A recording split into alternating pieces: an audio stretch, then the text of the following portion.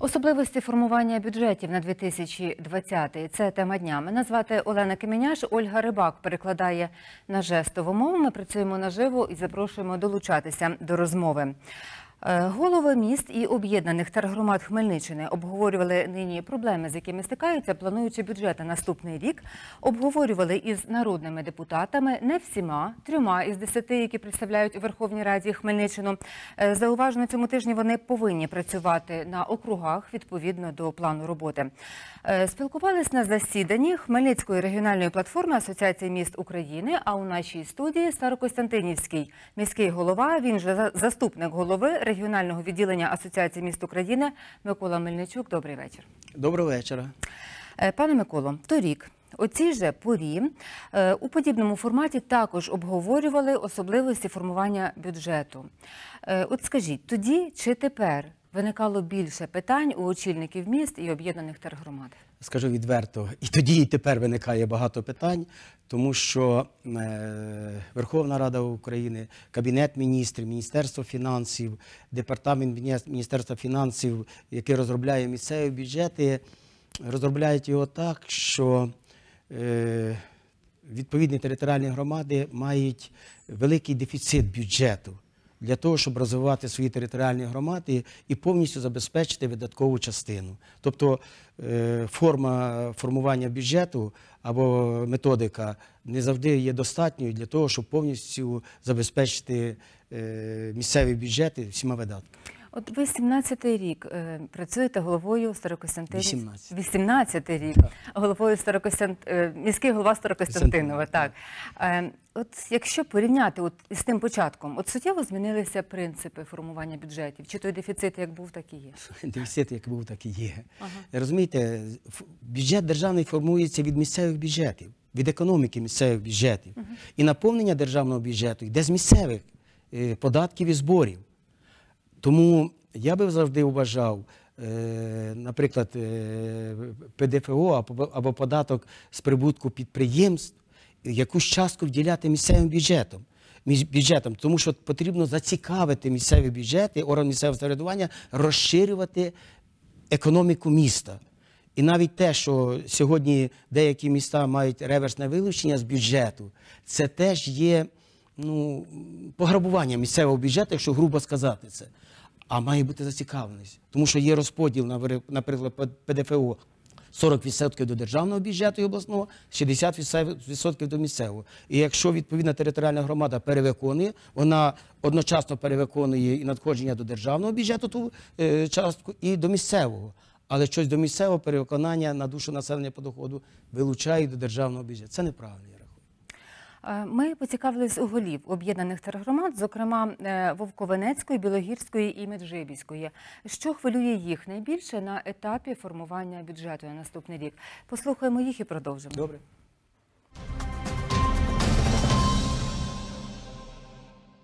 Саме найбільше хвилювання викликає те, що Кабінетом міністрів є постанова. Про підвищення заробітної плати вчителям, е, освітянам і е, покладається це на місцевий бюджет до 40%. Ну, е, Ми явно з голими громад ми спілкуємося. Явно це буде великий тягар, і ми не зможемо ну, ніяк забезпечити. Ми піднімали на загал те, що звернення до Міністерства фінансів, щоб включили перш за все ті е, установи, які є державні, щоб вони е, не платили податків нам громаду, а не йшли в державну, щоб вони насправді ті люди, які працюють в нас е, на місцях, вони хочуть від нас якісних доріг, і благоустрою і послуг. А насправді є велика чисельність людей, які установи, які зареєстрованих чи в Києві, чи в інших містах, платять податок в іншу ту де є місце реєстрації. Ми хотіли б ще це встановити. Далі земельний, особливо це є податок, який зміни, що пройшли, зробили його більш досконалим. Це мене як голову турбує такі статті, які в мене відпадають цього на рік, бо будуть е, відсутні в моєму бюджеті. Це акциз на палений мастильні матеріали на на паливо, за яке буде поступати місцевий бюджет. Потім значну допомогу надавали соціально-економічні кошти великі кошти, які приходили. Ми, це нам дало змогу робити водопроводи, ремонтувати, будувати. Цього року вони зняті і дійсно частина нам обрізана. Про ФОП закон підписаний. Ви розумієте, я за це, щоб дійсно є багаті великі супермаркети, які розділені на ФОПи, з ними треба боротися. Но Воно так під одну лінію все зроблено, що в моїх далеких волосицях магазин закриється. І закриється в Западинцях магазин. В тих маленьких селах, де воно не видно, і буде поставлений цей е, апарат, щоб давати чеки вибивати. Там просто, просто той підприємець не вийде, тому що на тих 200 людей чи на тих 100 людей цей магазин ну, буде не, не Теж треба продумати.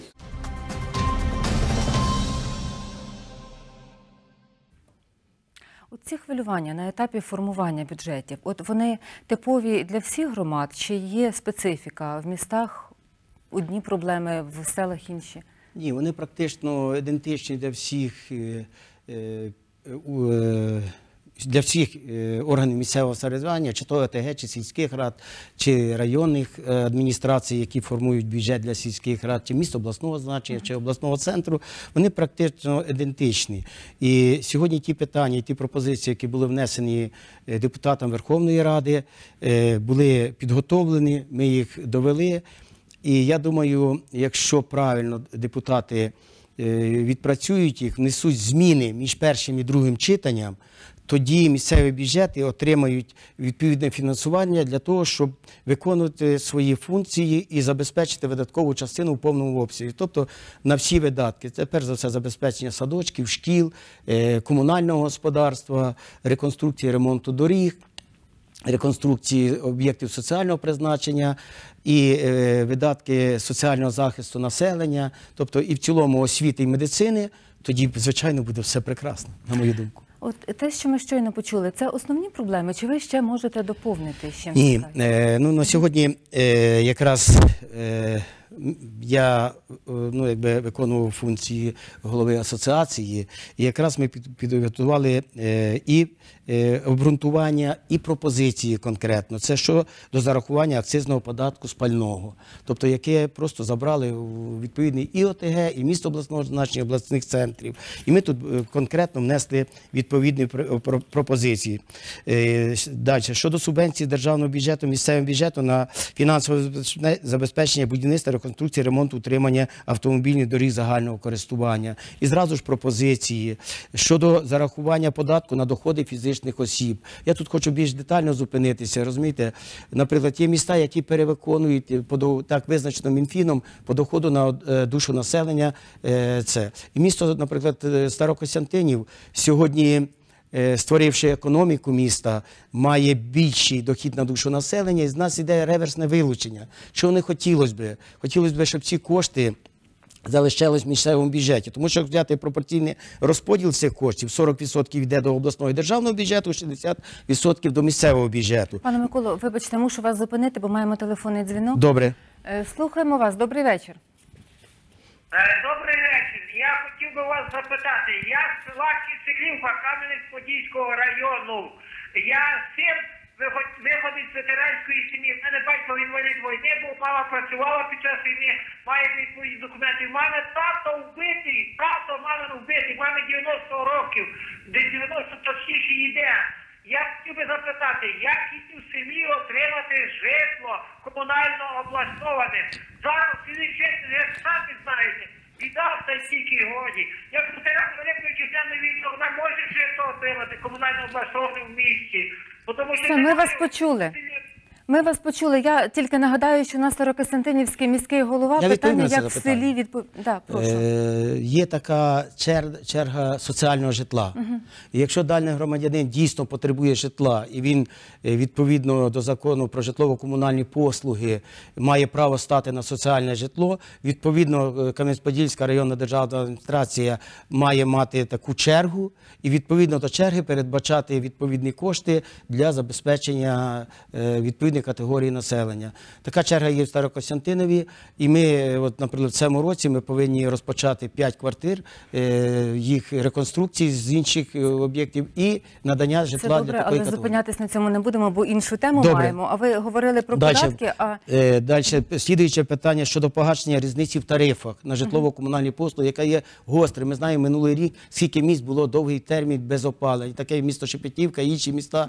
Ми не хотіли б в це попасти. Але ж відповідно до житлово-комунальних послуг, тарифи, коли затверджували НКРЄ, Відповідно до закону, вони повинні передбачити різницю в тарифах. Сьогодні це змушують нас підписувати угоди на реструктуризацію цих боргів, а це приблизно по Старокостянтинові тільки 51 мільйон гривень. Треба десь на- знайти джерело доходів, щоб забезпечити відповідний розрахунок за відповідні е, послуги. Далі, е, щодо процедури встановлення тарифів на комунальні послуги, ми вносимо пропозицію, щоб е, сьогодні тарифи виняти е, з закону про як регуляторний акт і відповідно до зміни е, вартості енергоносіїв, електроенергії і газу е, автоматично за формулою тарифи змінювались чи в ту чи іншу сторону. Тобто державна політика ціноутворення на енергоносії це державна політика, а тарифи на зараз віднесено до крім обласних центрів на місця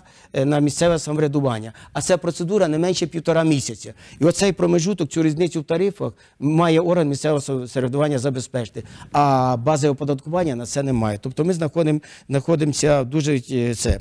Далі щодо обсягу е, освітньої субвенції, ми знаємо і чули от одного з міських е, голів ОТГ, е, що е, піднімається заробітна плата педагогам на 35-40%. І за рахунок місцевого бюджету бази оподаткування немає. Це надзвичайно буде складно органу місцевого самоврядування виконати відповідну постанову. Я не заперечую, що ми піднімали, але відповідно до конституції, освіта, медицина це є державна функція, а також пільги е, населення. Тому е, я сьогодні відверто кажу, що держава має виконувати свої функції, орган місцевого самоврядування свої, але якщо держава делегує відповідне повноваження, вона зобов'язана е, забезпечити е, базове оподаткування. Дякую. Е, Не зміг за станом здоров'я сьогодні взяти участь в нашому ефірі член правління Асоціації міст і сіл України, голова Маківської ОТГ Анатолій Кушнір. Але на засіданні регіональної платформи зазначив, що джерелом податків є доходи громадян, тому що ми сплачуємо податки, купуючи товари та послуги. Він е, навів розрахунки по своїй громаді. Послухаймо.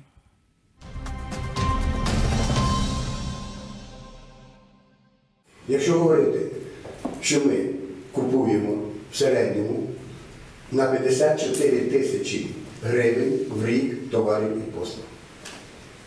От я роблю так, 50 тисяч для круглої цифри, множимо свої 7 тисяч населення, тобто мої громадяни купують товарів і послуг на суму 350 мільйонів гривень. Тепер перерозподіл ВВП через бюджет. 40% Сергій Віталійович? Множу 350 на 40%. 140 мільйонів. Виходить так, що громадяни, члени територіальної громади, купивши товари і послуги, сплатили при цьому, тому що податки всі включені кінцеву ціну товара чи послуги, сплатили 140 мільйонів гривень. Бюджет мій 19 року з усіма трансфертами 47 мільйонів. Решта де?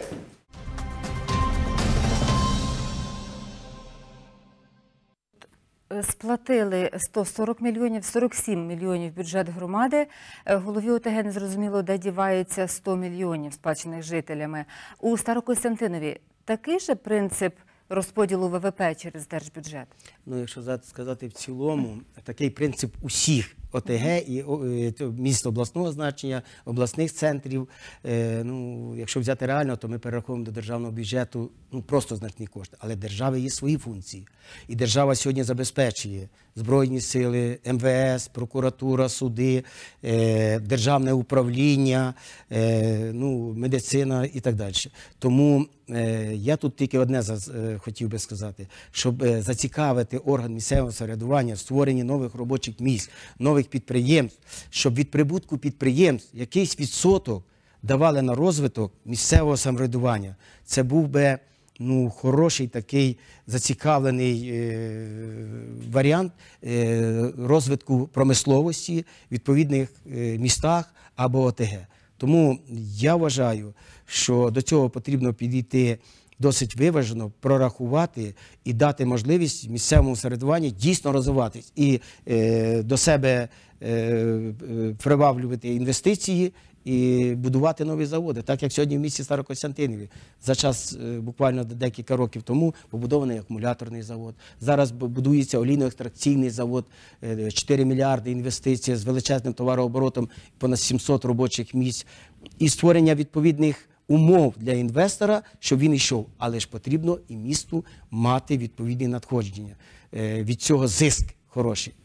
Минулого тижня уже про це згадували. Проект бюджету на 2020 був проголосований у першому читанні. Що у ньому насторожує позафракційного Сергія Лабазюка? Послухаємо.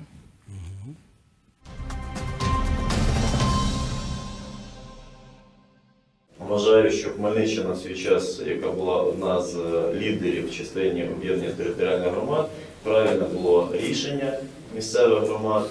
Звичайно, непроста була роз'яснювальна робота, і ті, хто сьогодні вже зробили е, ці кроки, вже можуть говорити про якісь перші плоди своєї праці. Отож, це сьогодні і проведення, я би сказав, не тільки е, ремонт, а відновлення повноцінне, деколи будівництво з нуля інфраструктурних об'єктів, таких як водогони, вуличне освітлення, дороги і так далі, утеплення навчальних закладів. Це величезний плюс, і цю реформу потрібно продовжувати, але не продовжувати в частині, що влада, так це ми бачимо вже в 2019 році бюджет на 2020 рік, який ми розглядали і прийняли в першому читанні тижні. Я вважаю, що на 2020 рік закладена якраз централізація державного бюджету.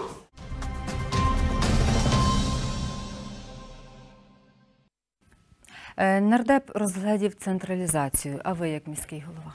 Е, Ну я ж е, що я так вважаю, що дійсно централізація, а має бути децентралізація.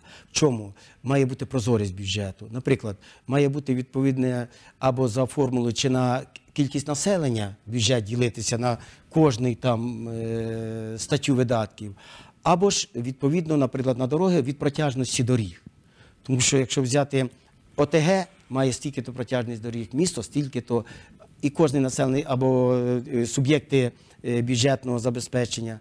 Тому має бути формула, щоб не ходити, не просити нікого, щоб не було нікому переваг або на кількість населення, або ж на протяжність доріг. Так само і по енергоефективності, так само по соціальній інфраструктурі, так само на, на душу населення ділити відповідний бюджет. Він буде прозорий і ніхто не буде ні за ким не ходити. Чи то буде по соціально-економічному, чи то буде по ДФРР. Зробити один прозорий е, бюджет і е, фінансування місцевих бюджетів з державного бюджету на соціально-економічний чи там е, інший розвиток відповідних територіальних громад. Я бачу тільки в цьому такий е, прозорий, ефективний варіант. Дякую. Маємо телефонний дзвінок. Добрий вечір. Слухаємо вас.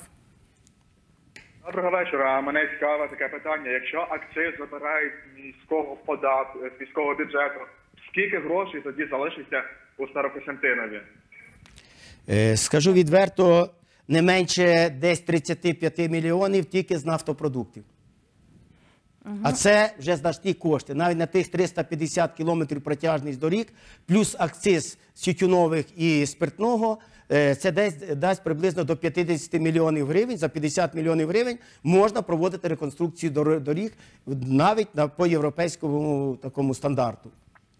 Е, Дякую за відповідь. Е, Старокостянтинівський район, от серед Місто. Е, Ой, ні, е, місто Старокостянтинів, але я зараз хочу сказати, що саме район Старокостянтинівський е, серед останніх в області включається в процес об'єднання громад. От 22 грудня будуть вибори до Сахновецької ОТГ. Дозвольте внести чи- з- цьому зауваження. Це не ОТГ буде. Це буде велика більша сільська рада. Вони не підпадають під перспективний план е, об'єднання територіальних громад.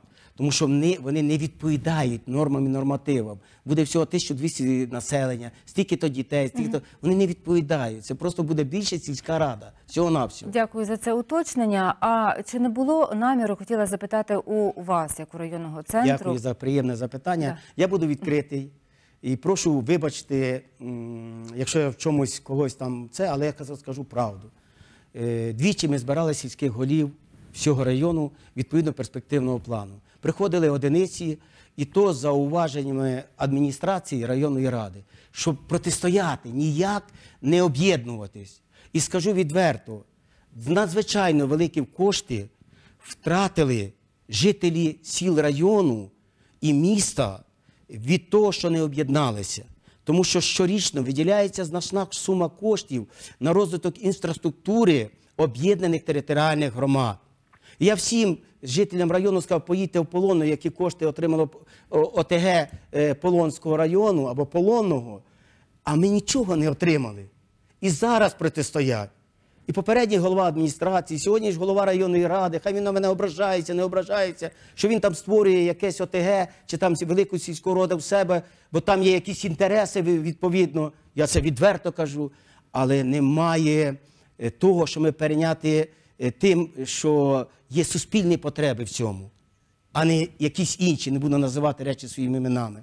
Тому я сьогодні звертаюся до всіх сільських голів. Давайте відступити від особистих до суспільних потреб і дати можливість довести інформацію до жителів сіл про негайне об'єднання. Сьогодні 2,9 мільярда знову йде на ОТГ. А на наші е, села і місто нічого не йде. Третій рік. Зрозуміємо, що ми втрачаємо. Для чого це?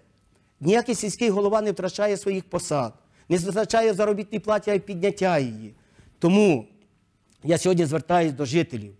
Були б сьогодні дороги до кожного села, до кожного населеного пункту, були забезпечені транспортне сполучення. Ви могли б вільно добиратися до роботи в місті Старокостянтинів, де сьогодні є біля тисячі вільних вакансій на підприємствах на міста Старокостянтинів. І ви мали б і заробітну плату, і інше. Тому я сьогодні кажу відверто: я ще раз звернуся буквально завтра, післязавтра до сільських голів зібратися і подумати.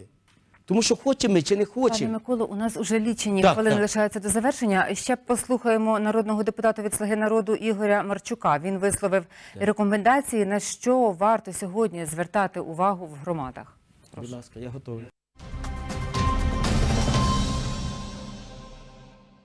Що ми можемо зробити для того, щоб е, збільшити, е, збільшити ВВП нашої, нашої держави, зменшити корупцію? Да, тому що від, е, е, є така проблематика і на рівні, е, і на рівні земельних, земельних питань, і на рівні держ- Держгеокадастру, і на інших, на жаль, рівнях. І рухаясь е, рухаясь один на зустріч одному, держава е, до місцевих місцевих громад, громади до е, розуміння державної проблематики. Я думаю, що ми вирішимо нашу нашу сказати, загальну проблему зробити Україну нарешті нарешті заможною і процвітаючою державою.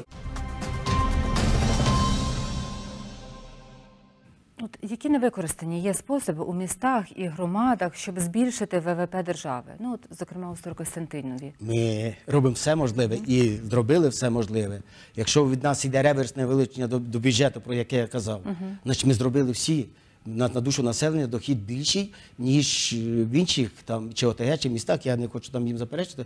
Але ми створили економію. Побудували, е, відновили роботу заводу молочного, відновили заводу цукрового заводу, е, побудували акумуляторний завод, бу- будуємо новий олійно-екстракційний завод, Мегатекс Індастріал, тобто Блокмастер сьогодні відновив свою роботу. Завод ЖБШ працює, тобто економіка працює. Крім того, ми від, ну, якби нові військові частини сьогодні в Старокостянтинів прибувають і збільшується контингент.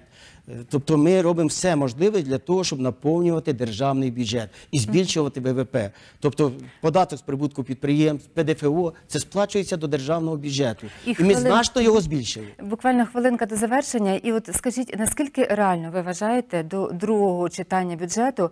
Е, наскільки реально, що депутати дослухаються до тих пропозицій, які ви озвучували сьогодні? Е, Пані Олена, розумієте, я скажу відверто, я на завершення в завершальному слові це сказав і скажу зараз. Якщо якщо будуть багаті, самодостатні е, об'єднані територіальні громади, міста, е, тільки буде багата держава.